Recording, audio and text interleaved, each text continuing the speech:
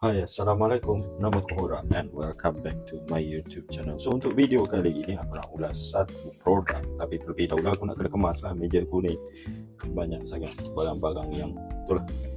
Aku ni ada kerja full time dan benda ni just buat part time. Suka-suka kok aku dapat duit terpijak. Tapi so far tak terpijak-pijak lagi lah. Duit aku So kepada yang baru pertama kali sampai kat channel YouTube aku. Jangan lupa please subscribe Dan jangan lupa share video ini. Aku dulu masa zaman uh, you aku suka pakai seluar jeans lah juga.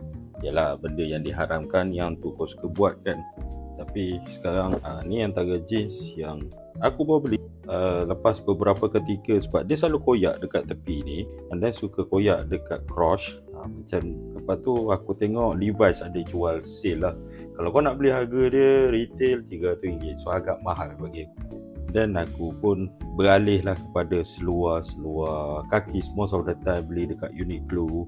Sebab aku ni buat kerja maintenance. Nak kena mencangkung nak kena merangkak nak kena masuk celam mesin. Bagi aku seluar jeans agak tak praktikal. So sampailah satu tahap jeans ada buat sale. Aku suka seluar jeans ni sebab walaupun dia tak ada rivet kat sini tapi dia ada jahitan yang dia strengthen lah. Dia punya joint tu. So that's why jeans ni tahan lama. So jeans ni aku beli dalam 100 lebih macam tu lah 501 5 butter tapi kain dia lembut sikit. So selesa. Cuma masalah dia punya crotch dia. And then lepas tu pula aku beli seluar jeans Levi's juga 501 ha, sebab aku ni tak tahu pasal seluar jeans Levi's. Sebelum ni aku pakai Camel aku pakai James Dean aku pakai Lee. Aku pakai macam-macam Lee Cooper semua. Ha, zaman Lee Lee Cooper pun berbeza-beza. Tapi disebabkan aku tak tahu kating-kating jeans uh, dan aku pun jenis tak suka main test. Lepas tu rasa selesa buat balik. Uh, macam ni pun back one uh, dia tak ada rebate kat sini. Uh, tapi dia strengthen lah. Dia cuma ada rebate kat depan je. Sama juga case yang sama dia punya cross. So aku stop beli Levi's lepas tu.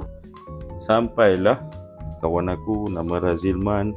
Uh, dia lah yang selalu tolong aku advice. So aku belilah Levi's aku yang ketiga setelah beberapa tahun. Iaitu yang ni high ball dia tulis. Uh, sebab dia cakap seluar jeans ni tapered. Uh, seluar jeans ni tapered. Dan kebetulan time aku beli tu uh, seller tu cakap uh, aku beli ni pun sebab buy two free one. And then seller cakap oh design-design ni jarang masuk jenis. Apa orang cakap uh, dia jenis wash macam ni kan. Uh, so jarang masuk. So memang betul lah dengan kaki kecil. So agak selesa lah. So ni antara jeans yang aku paling sayang lately lepas tu aku pun ada juga beli jeans dari jenama lain. Ha, yang ni H&M. Beli ni pun sebab murah lah. Sebab murah. Jeans ni pun jenis lembut macam geng-geng GA Blue kalau korang yang selalu pakai kan. Uh, zaman-zaman tu ada bump. Ah, bump pun aku pernah pakai. Uh, bump tu sampai hilang lah. So untuk segmen ulas kaya kali ini aku nak ulas pasal seluar jeans. Ah, ha, seluar jeans ni aku beli dekat TikTok. Jom kita buat nyah kotak terlebih dahulu. Ada lagi. Ini punya tema Madden Clothing Co Limited. Ada QR code kat sini. Ya, kat belakang dia tulis Madden Clothing. Adalah dia tulis dia punya aku tak tahu dia punya filosofi kot. Jom kita Okay, macam parcel pula aku tengok. Jadi kalau dia buat packaging macam ni aku tak tahu lah. Boleh return ke tak? Sebab aku ni jenis kalau tak ngam aku return lah. Sebab seller cakap lain, ni cakap lain. Uh, let's aku feedback je lah. Benda tak elok. Kita tengok kat sini. Dia punya packaging nampak wow lah boleh cakap. Kain dia aku rasa macam lain sikit. Aku tak tahu. Semua ni tulis bahasa Cina. So kau boleh tengok kat sini. Tagging pun ada. Uh, Madden estimate 1983 so tak lama sangat lah macam Levi's apa semua tu. Jom kita buat. Ya kotak terlebih dahulu. Ni dia punya tagging dia. Madden MRA for limited sizing dia.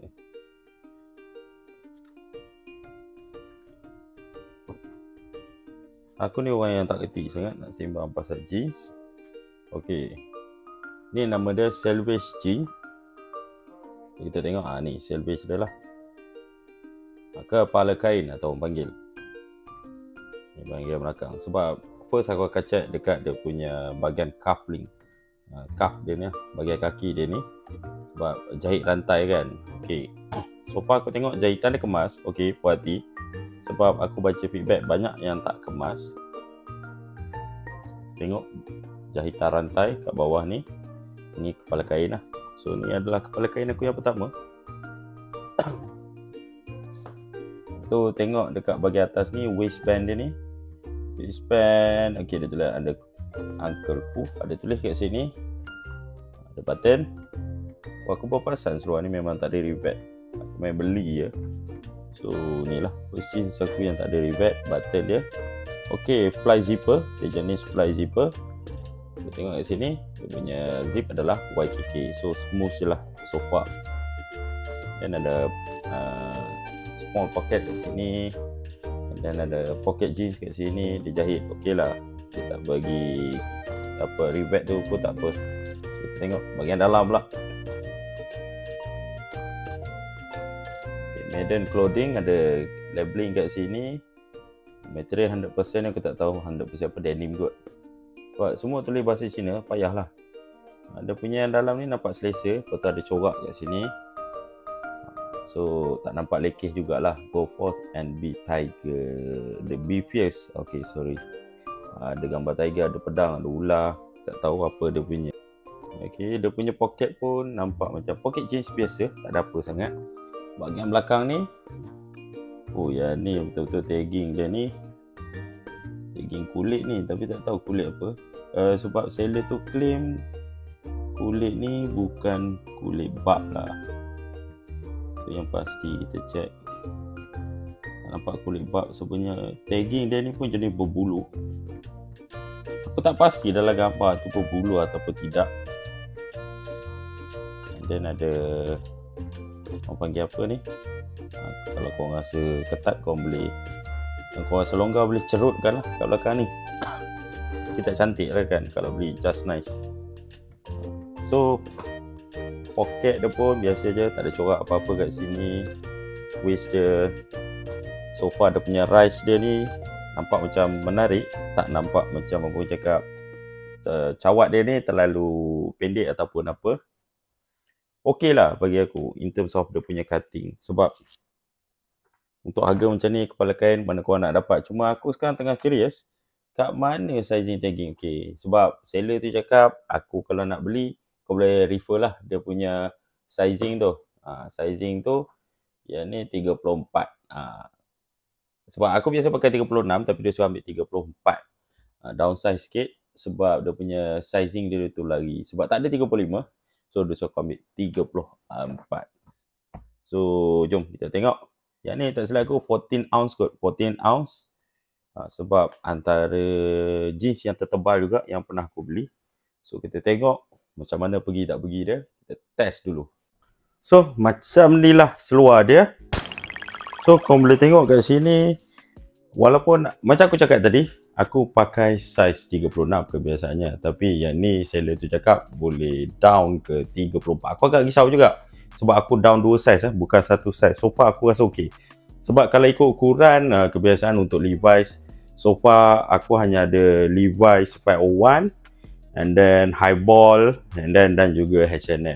Tapi kelemahan dia dia punya rise ataupun dia punya cawan ni terlalu uh, singkat orang cakap. Uh, so yang ni uh, aku rasa tak terlalu low macam tapered tapi lebih selesa dia punya apa orang cakap uh, cawat tu kalau nak dibandingkan Levi's 501 dengan uh, fly zipper kalau nak dibandingkan dengan uh, fly button tu button tu aku tak berapa gemar sangat sebenarnya. So pacak pun so far aku nampak nice lah. Poket semua boleh pakai. Ha, cuma poket kecil ni kau nak simpan apa aku tak tahulah sebab agak ketat sikit nak access dekat sini. And then in terms of dia punya ya yeah, benda ni uh, 14.8 ounce. So dia agak apa cakap uh, boleh kata keras lah juga kalau nak dibandingkan dengan normal Levi's yang ada dekat pasaran ni ha, sebab apa aku cakap macam tu bila kau tengok uh, aku mostly beli yang San Fahrenheit punya yang yang dah dah season. So yang ni first time lah aku beli raw denim. And then tambah pula kepala kain. Uh, orang cakap kepala kain uh, lembut. Eh, itu aku tak tahu lah mitos dia macam mana. Cuma yang ni kepala kain aku ni agak simple uh, kat tepi tu. Tak, bukan benang yang warna merah ke apa. Dia still benang yang warna putih. And then uh, kalau kau perasan uh, belakang ni dia still sama juga feeling macam uh, sama yang Levi's punya pinggul tu rasa tak adalah terlalu loose, tak adalah terlalu uh, ketat sangat. Cuma aku perasan buckle ni agak mengganggu sikit. Uh, dia guna design ni untuk 1950s punya era yang mana cutting-cutting dia semua tapi dia bukan mom's jeans lah. Uh, bila korang baring korang akan terasa lah buckle yang kat belakang ni. Lain-lain aku rasa so far okay. Pocket ni pun just nice. Uh, yang agak ralat sikit dia punya patch ni lah. Patch ni kalau macam Levi's kan, uh, korang tak boleh masuk tali pinggang dalam ni kan. Uh, patch ni korang boleh masuk kan. Uh, patch ni dia bulu kuda. Aku harapkannya bulu kuda lah sebab seller tu cakap bukan bulu babi. So aku yakin lah apa yang seller. Seller tu orang Kelantan. Dan orang Islam kot. So takkan nak kenakan member sendiri kan. So far aku rasa okey lah. Uh, aku dah buat pakai uh, Levi's ni pergi jalan-jalan dekat mall. Aku tak rasa panas sangat, tak rasa kekuat. Aku dah buat semayang. So aku rasa uh, seluar jeans ni agak berbaloi lah untuk dibeli. So apa kata kau? Adakah berbaloi atau tidak? Seluar jeans ni, uh, sila tinggalkan di ruangan komen. Terima kasih kerana sudi menonton sehingga kita bertemu lagi. Assalamualaikum.